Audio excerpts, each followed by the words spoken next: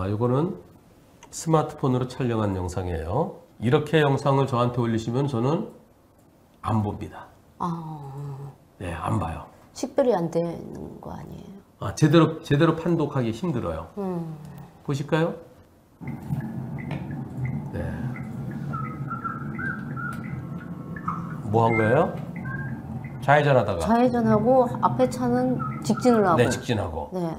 근데 저 차가 안 보였대요. 아, 근데 그럴 수가 없는데 예. 자 그리고 깜빡이 켰나요 안 켰나요? 켰어요. 깜빡이 켰어요. 네. 왜 켰다고 생각하세요? 좌회전 하려고 하니까. 깜빡이 안 켰어요. 아, 진짜 근데 왜 소리가 났잖아요. 이거 차 세워놓고 비상등 켜놓고 찍은 거예요. 아, 헐, 그거 말도 안 돼. 이 이거는 아 이거 이거 앞서는 저는 이렇게 이렇게 올리면 안 봅니다. 어, 그거 말도 안 되는 네. 일이에요. 그러면 이걸로는 제가 안 보니까 원본 올려주세요. 그때 네. 원본이 올라왔습니다. 가볼까요? 아, 소리 안 네, 들리죠? 네, 전혀. 깜빡이 안 켰죠? 네. 네. 근데 저 맞은편에서 오는 차 어떻게 돼 있어요? 라이트가? 꺼져 있어요. 예, 저런 걸 뭐라 그래요? 스텔스라 그래, 스텔스. 네. 스텔스 차량이라고 보통 얘기하거든요. 네. 아니 이게 이거 꼼꼼하잖아요, 그죠? 네. 원래는 이렇게 안 보여요. 원래는 이렇게 보여야 돼요. 음, 이렇게 보였을 거예요, 원래는. 네네. 네, 스마트폰은 눈에 보이는 거랑 거의 비슷하게 보여줍니다. 음, 그런데 블랙박스가 너무 어둡게 찍혔어요. 이게 현실에 더 가까웠을 것 같아요. 이 블랙박스는 이거 너무 어두운 거예요. 그렇죠. 예, 너무 어두워요. 가로등도 있는데. 네. 가로등 있으면 여기에 뭔가 빛이 이게 퍼지는 뭐가 있어야 되는데 너무 어두워요. 여기서 여러분들 누가 더 잘못했나요? 나 신호도 없는 교차로에서 좌회전 하는데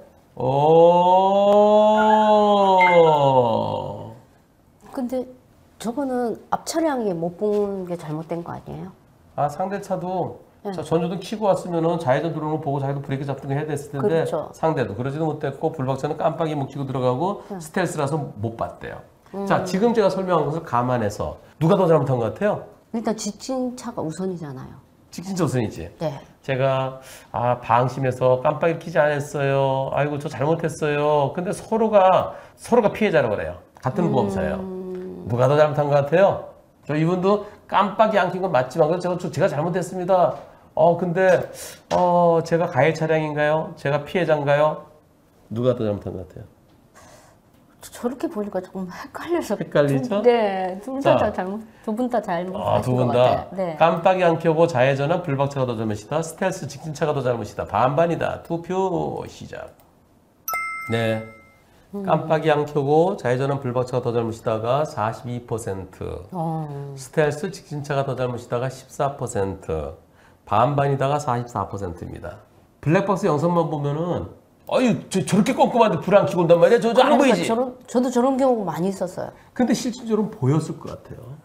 때 천천히 네네. 직진한 차가 오나 보면서 그렇죠. 네. 보죠. 그래서 이 차가 이거보단 더 잘 보였을 것 같고요. 저- 제가 생각할 때는 아마 이게 더 현실적이었을 것 같아요. 이 정도면 보이잖아요, 그죠? 네. 예, 이렇게 됐을 것 같아요.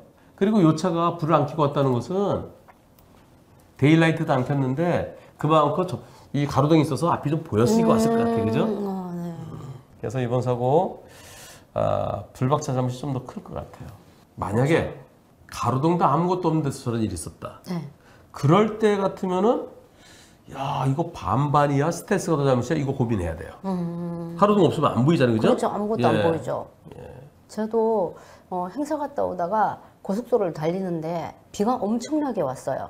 비가 오고 가시거리가 좀 좁잖아요. 좁아 보이면 비상등을 키면서 가요. 음, 예, 안전거리 유지하면서 그렇게 가는데 아유 등을 하나도 안 킨 차가 앞에 있는 거예요. 어 고속도로 굉장히 위험하잖아요. 그럴 때 저 몇 번이나 경험을 했거든요. 그런 그런 차를 보면 어떻게 해주시나요? 천- 천천히. 아까 앞차한테 반짝반짝해서 너 너 불 켜 이렇게 좀 안 해주나요? 아 그렇게 해주죠. 어. 해주는데도 끝까지 몰라 안 켜요. 몰라 끝까지. 예. 네. 그럼 그럴 때 제가 만약에 거기서 박았다. 어. 그러면 어떻게 되는 거예요? 아 상황에 따라 다른데요. 네. 그 차의 속도를 알아야 돼요. 음. 그차 서 있었다. 네. 불안 켜차 서 있었다. 고속도로에서 가로등 없- 없는 곳에서 그러면 그 차 100%. 근데 거기는 고속도로였어요. 고속도로 그러니까. 달리고 있어요. 음. 100km 있어요. 그- 그 차도- 100km 정도. 그 차가 달리고 있어요. 네. 불안 켜고. 네. 그런 가로등도 없는데 아무것도 없어요. 그걸 몇 번이나 저는 진짜 스트레스네. 네 진짜 어. 비는 엄청 오고 앞에 아무것도 안 보이고 어떻게 갈 수 있을까? 앞이 안 보이는데. 그러니까 너무 신기했어요. 아 천천히 가셨기 때문에 앞차를 네. 발견할 수 있었죠. 네, 근데 네. 그런 차들이요. 네. 뒤에서 보면은 등에 하나도 없는데 앞에는 불좀 켜고 가요. 아 그래요? 조그만 낮에 낮에 들어오는 그불 아, 있잖아요. 네. 작은 불. 네, 네, 네, 네. 뒤에는 하나도 없어도 앞에는 아 그러니까 자기 거는 보고 자기가 가시구나. 보이는 거지. 아그 생각은 못했어요. 어 저 차 왜 저러지 왜 저러지 하고 그런 적은 있었거든요. 그랬군요. 네. 참 좋은 운전자 상해보험 한문철의 초기 대응 플랜. 변호사님, 제발 도와주세요.